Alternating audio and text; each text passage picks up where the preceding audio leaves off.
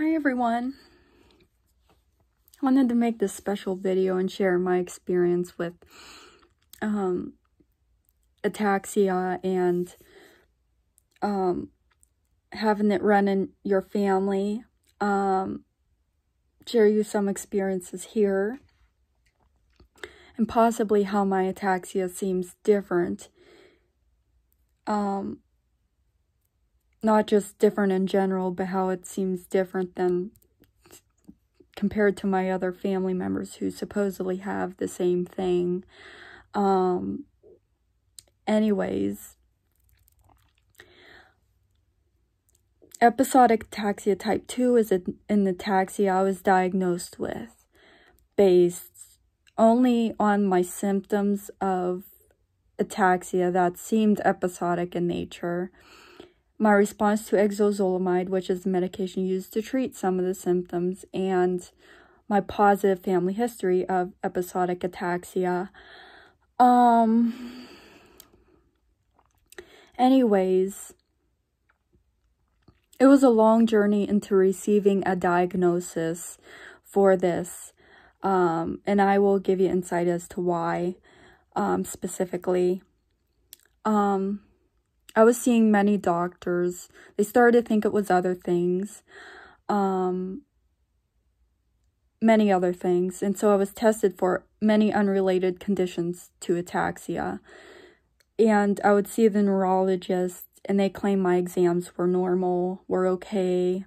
The only thing that they seen is that I had persistent nystagmus, which is related to ataxia to the begin with, but they just seemed to shrug that off and say my exams were completely normal, um, but did claim I have some nystagmus. Um, but I would walk heel to toe. I would do it pretty much perfectly. Um,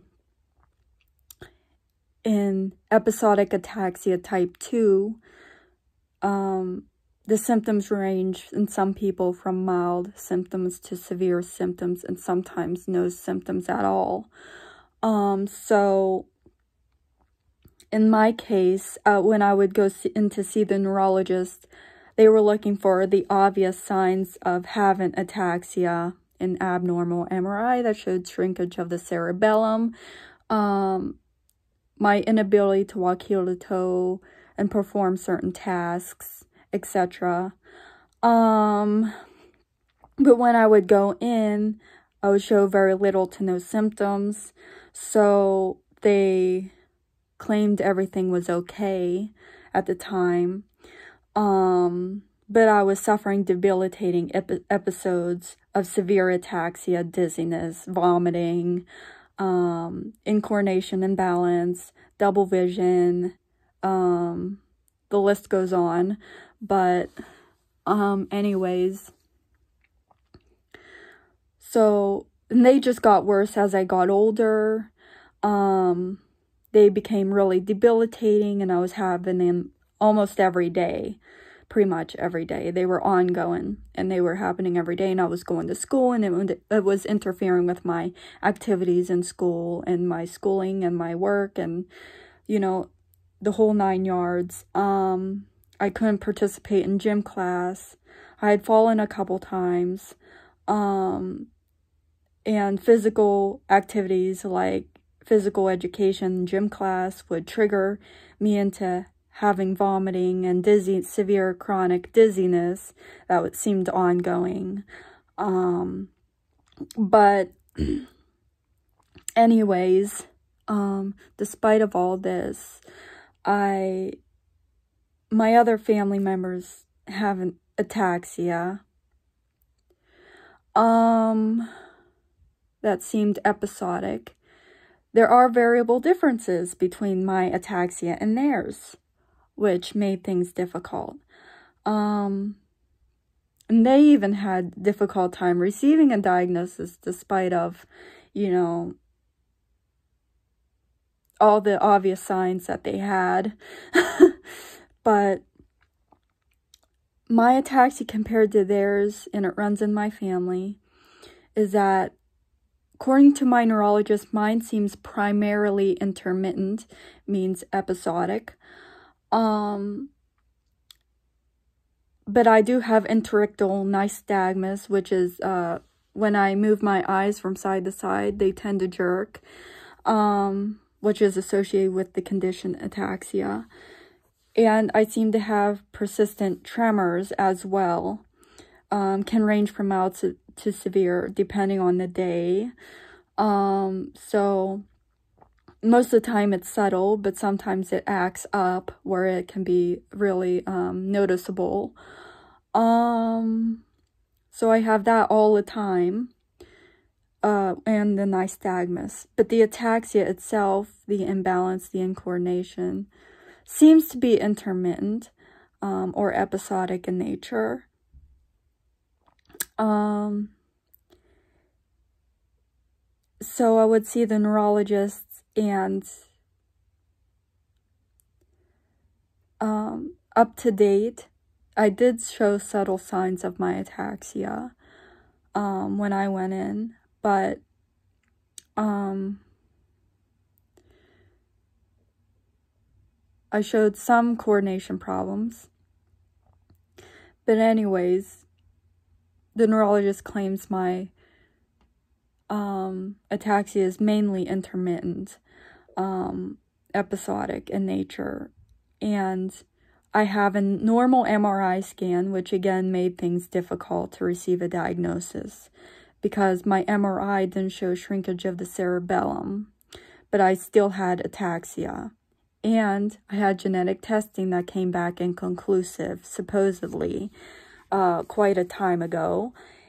Um, which leaves questions unanswered um, as to what may be causing my ataxia, literally. Um, it was basically diagnosed based on observation and um, the symptoms I had and having a family history of it. Um, but, um,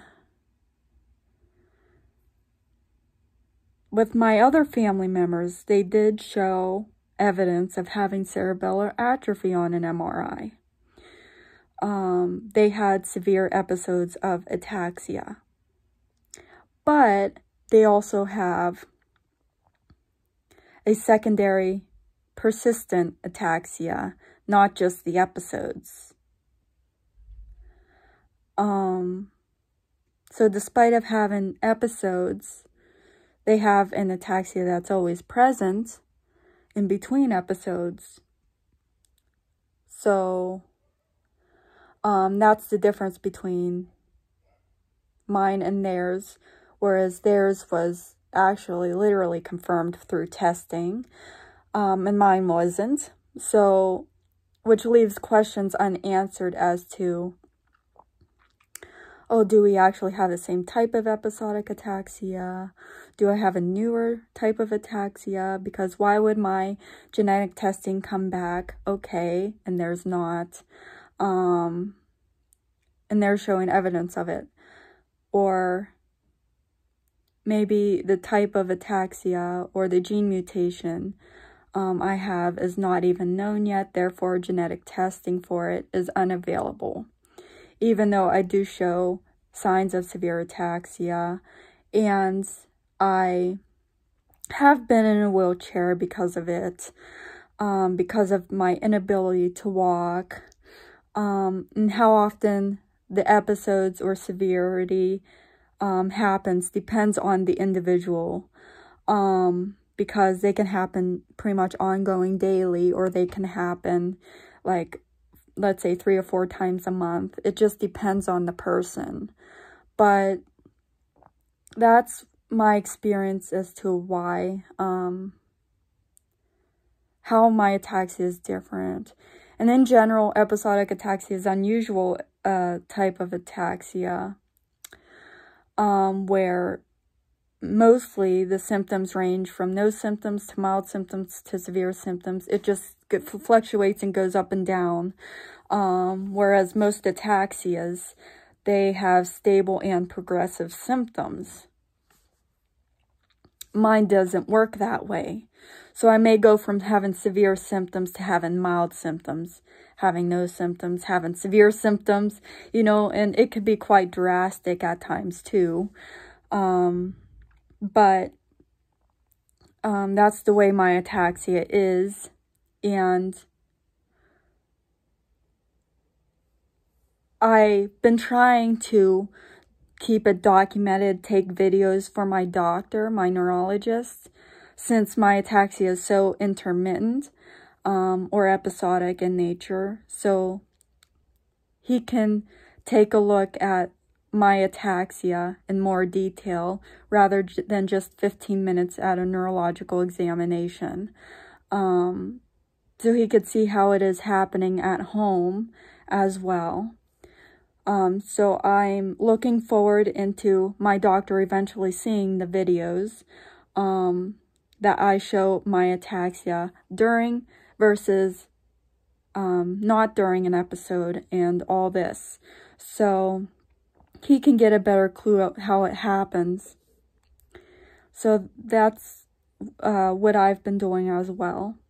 And I advise anyone with episodic ataxia, if you can do that, uh, your best choice, your best option probably is to do that because episodic ataxia is so hard to capture um, or to, uh, how do I want to put it? Uh,